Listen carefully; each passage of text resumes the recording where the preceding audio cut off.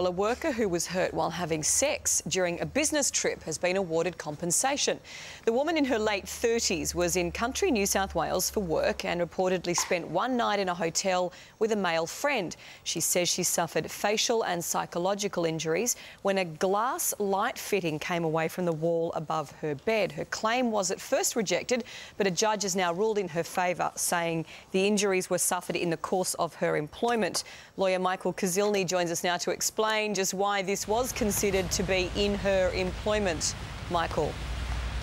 Yeah, good morning, Mel and Matt. A rather strange yet unfortunate case for this uh, poor lady. In this latest judgment, the court ruled that uh, making love is purely recreational and it's no different than playing cards or having a shower. Of course, ComSafe, uh, the previous body, denied the claim, saying she wasn't induced to have sex by her employer. And they were also complaining that it was very wild sex, which caused the light fitting to fall on her face. But of course, this latest decision uh, is a good decision because it basically says that if we are going away in the course of our employment, we're covered even whilst making love. All right, so can employers do anything to protect themselves from something like this?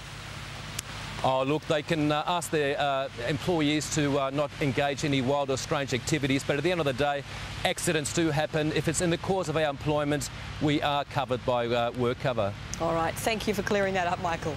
Thanks.